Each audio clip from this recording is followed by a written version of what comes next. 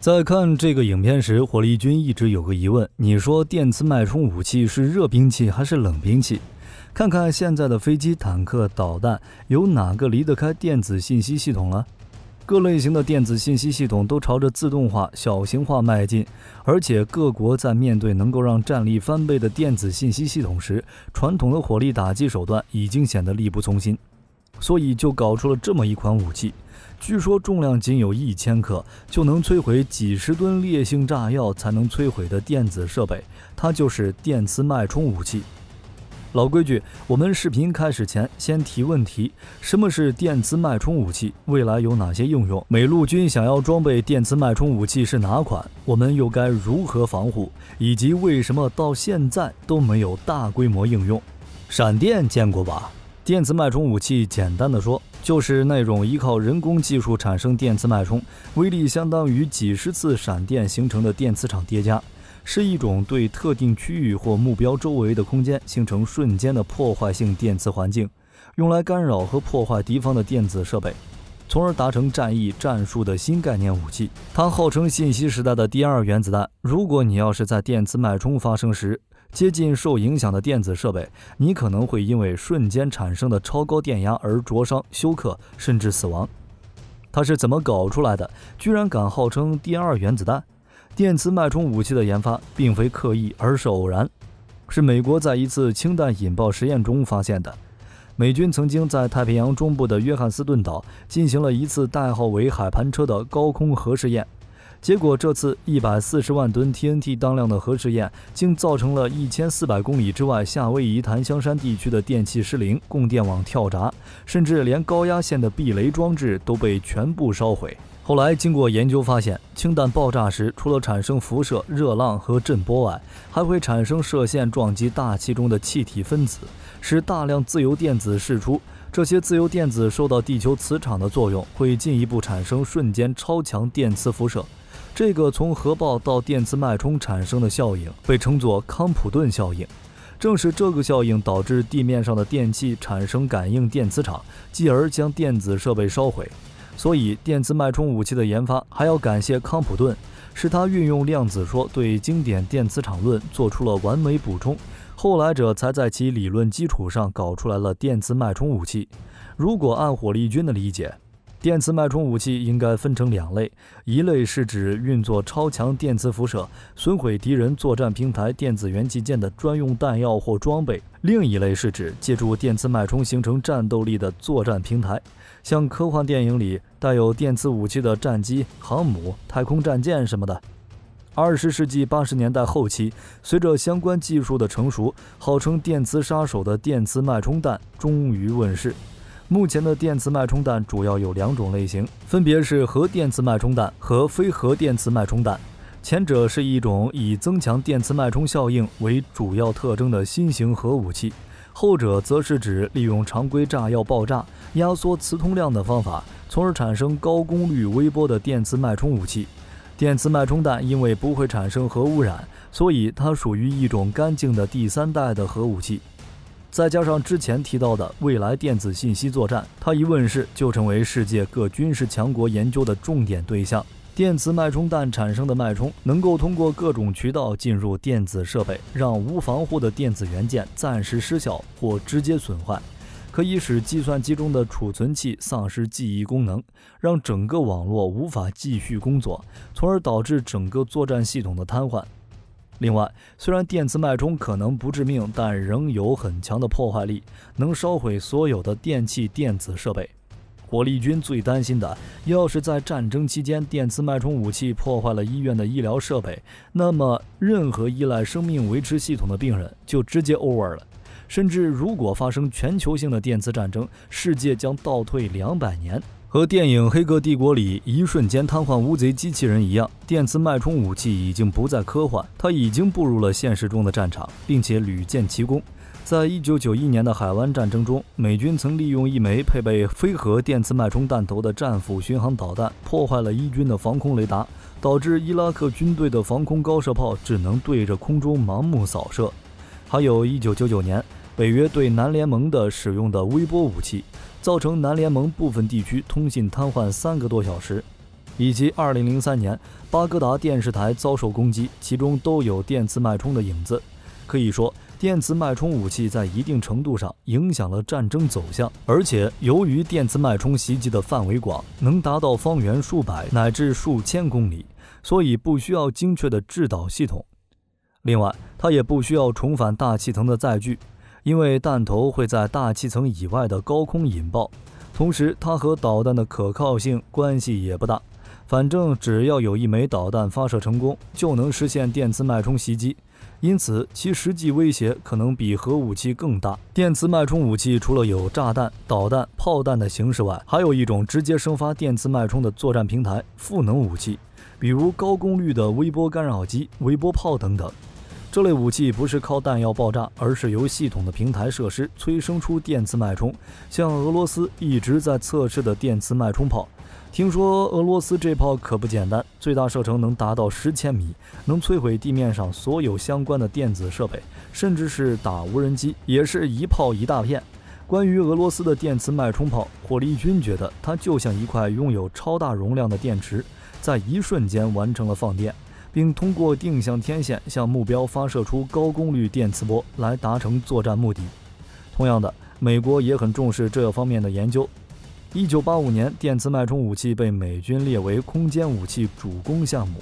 1993年，代号“竖琴”的电磁脉冲武器投入实验。2004年，美军开始测试新一代电磁脉冲武器，致力于降低成本。2012年。美国一家公司研发的反电子系统高功率微波武器进行测试，携载该系统的飞机在低空飞行了一个小时，使七个不同目标内的电子系统降级或失效，沿线房屋中放置的计算机全部黑屏。二零一九年，又在一次电磁攻击试验里，一次性击落了五十架无人机。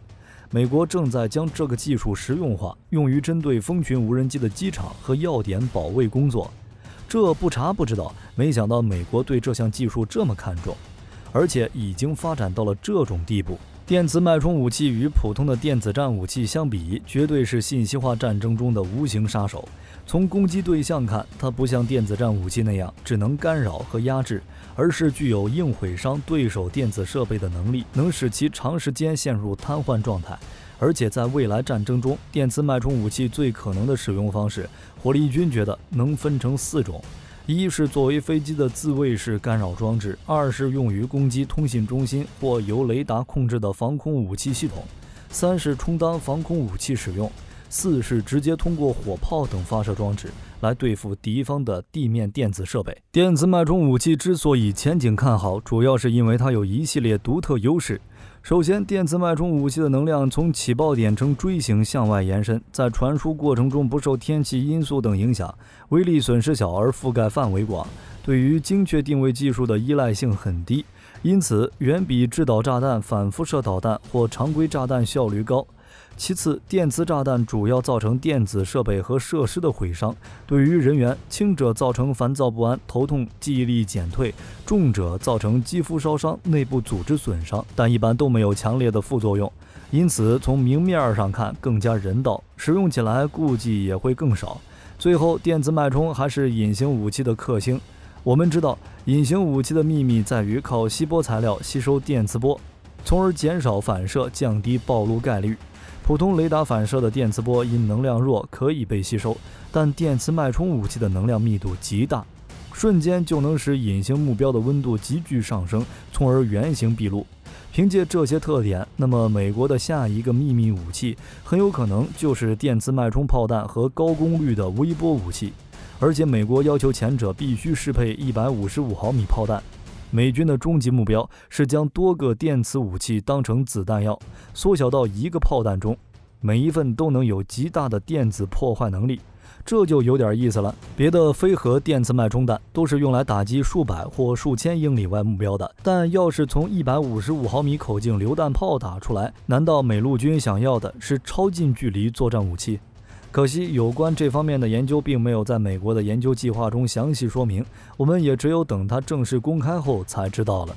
而对于后者，美国早就已经开展相关项目研究。最新的应该是反电子系统高功率微波先进导弹项目，就是利用空基高功率微波系统，同时发射多个脉冲微波，以实现对多个目标进行攻击毁伤的作战效果。微波武器与激光武器同属于新概念武器。激光武器的光束以光速飞行，机动灵活，作战反应速度较快，但同时受天气条件影响较大。而微波武器除了之前提到的受天气影响小和火力控制方便的优点外，最重要的是，美国研发出来的陆基高功率微波武器可应用于防空反导，能破坏敌方指挥控制系统和通信装置，可以起到良好的防御效果。只不过，以目前的科技水平，微波武器的初步实战化并不顺利，依旧面临一系列复杂的难题，尤其是无法有效对空中目标展开攻击。如果攻击功率太大，可能造成自己武器的电子设备毁伤；功率太小，又起不到作用，挺愁人的。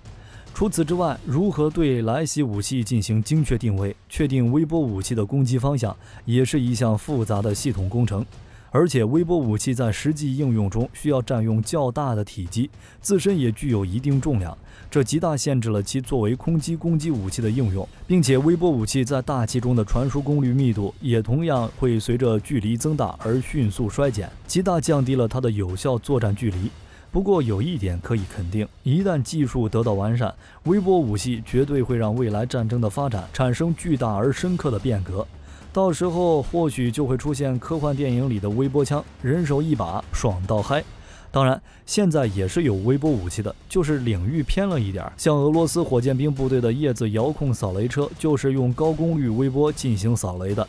在实战中，叶子首先会用车载宽幅感应搜索模块探测可疑地区。该搜索模块犹如金属探测器或探地雷达，能利用电磁成像原理穿透地表，并对地下目标进行大致成像。一旦发现地下埋有金属地雷，当探测到爆炸物时，大功率电磁信号压制设备就能切断敌方对爆炸物的遥控信号。电磁脉冲设备通过发射微波脉冲对爆炸装置内的电子部件进行损坏，使其无法构成威胁。俄罗斯是很倚重自身的核力量的，因此陆基核武的安全一直是俄军关注的重点。俄军担心敌方会通过布设地雷或路边炸弹的方式来毁伤利用道路机动的俄陆基洲际弹道导弹部队，使其无法顺利进入发射阵地。而叶子的非接触扫雷模式，相比于其他扫雷方式更为高效、安全，更能适应各种复杂环境，因此非常适合担任导弹部队的开路先锋。电磁脉冲武器按照美军给的层级标准，大致能分成干扰、降能、损伤、损毁四个层级。也正是因为电磁脉冲具有强大的杀伤力，世界上主要的军事强国在研究和发展电磁脉冲武器时，也高度重视其防护技术。美国和前苏联在研究和发展电磁脉冲武器时，都十分重视武器装备电磁环境效应和防护加固技术的研究。甚至在一九七九年，美国总统卡特还发布命令，强调核电磁脉冲的严重威胁，要求每开发一种武器，必须考虑电磁脉冲防护能力。为此，美国在新墨西哥州科特兰、亚利桑那州等地建立了十余座电磁脉冲场模拟器。而到了台湾，除了拥有自己代号“玄天计划”的高能电磁脉冲武器外，台湾军方也十分重视电磁脉冲防护的研究，很早就开展了“脉护计划”。一种专门针对电磁脉冲武器硬杀伤的计划，用来防护台军重要的军事设施、战略民用设施和政府重点建筑设施等，并且已经在衡山指挥所开始了其计划，由反制脉冲效应、电子反制防护网等七部分组成，以防范电磁脉冲武器的攻击，维持计算机网络运转，保护计算机作战指挥系统的畅通及数据库的安全。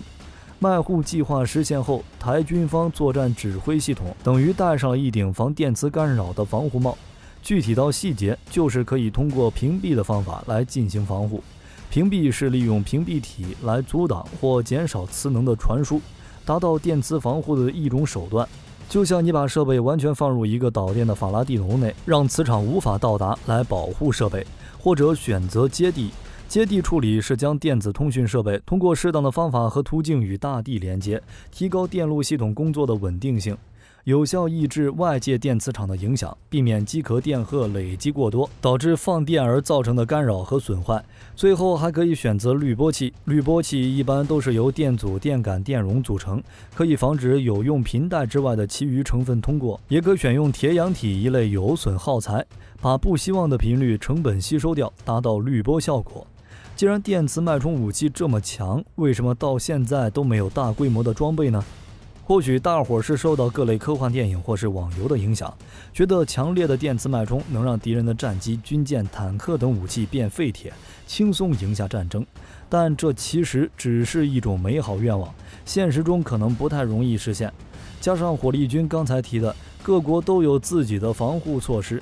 因此，电磁脉冲武器只能大面积瘫痪民用电气设备，实际对军用武器的影响并没有想象中的那么严重。在各国的武器设计规划里，都有大量抗电磁脉冲的标准，像军用飞机就运用了火力军刚才讲的防护措施。首先，飞机上对电磁脉冲敏感的电子电器设备都有自动短暂的停电保护措施，且与蒙皮有良好的等电位连接和联合接地防护措施。其次，飞机各部位都有放电刷，加上所有导线和天线都进行过滤波和灭弧处理，并加装了防波套以及避免环装连接，来进行电磁脉冲防护。最后，飞机上各种电器还会加装过压保护装置，而且在关键部位都有电磁屏蔽，像座舱、航电系统、各种口盖、缝隙、孔洞等地方。一些重要的电子设备，另外还会有第二级屏蔽。等级最高的电子设备，甚至要加装特制隔舱或屏蔽罩。这种特级防护，就算将其放在离核爆炸很近的地方，也能确保电磁安全。而且，现在先进的军用飞机在出厂前都要通过抗强电磁脉冲辐射的电磁脉冲攻击测试，要有在峰值电场强度五十千伏每米上升时间五纳秒、距离十公里以内的核爆炸电磁脉冲环境下的正常作战能力。所以啊，现在大多数战机并不是很惧怕电磁脉冲武器。当然，也有另外一种可能，就是现在的科技水平达不到，或者已经达到，只不过都是各国高度保密的武器，我们只是不知道而已。好了，对于电磁脉冲武器，火力军已经解释完了。对于它是冷兵器还是热兵器，你有答案了吗？火力军的答案已经藏在视频里了。同时，欢迎在评论区留下你的答案，我们一起讨论。本期视频内容就到这里，我们下期再见。